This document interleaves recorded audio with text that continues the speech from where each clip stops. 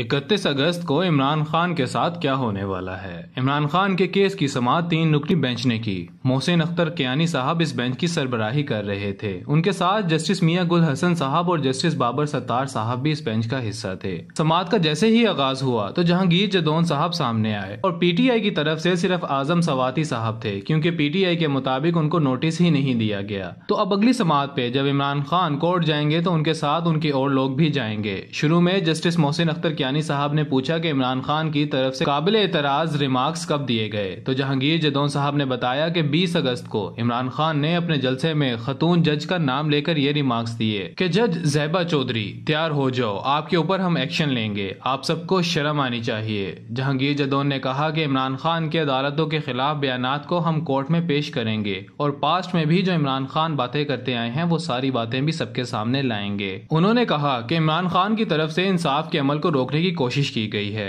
इस पे जस्टिस मोहसिन अख्तर कियानी ने कहा कि अगर लीडर ही ऐसी बातें करेगा तो अवाम क्या करेगी और कहा कि ये अदालती कार्रवाई में कोई दखल नहीं दे सकता। इसी केस में आगे ये फैसला हुआ है कि इमरान खान को इकतीस अगस्त को अदालत में तलब किया गया है और इस केस के आगे की बातें हमें इकतीस अगस्त को ही मिलेंगी।